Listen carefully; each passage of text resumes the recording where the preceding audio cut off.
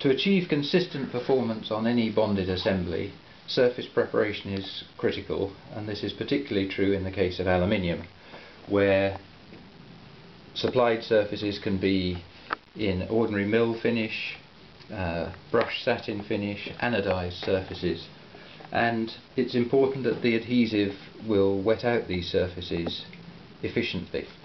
So if we look at different surface preparations on aluminium we can see that unprepared material fails to wet out effectively at all.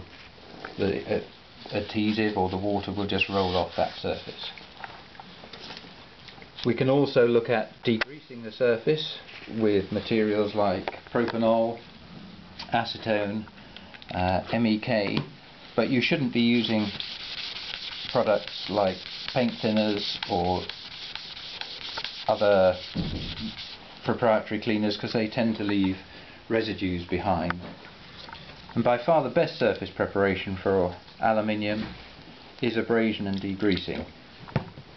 This would normally be done using either emery cloth or Scotch-Brite type material equivalent to about 320 grade emery.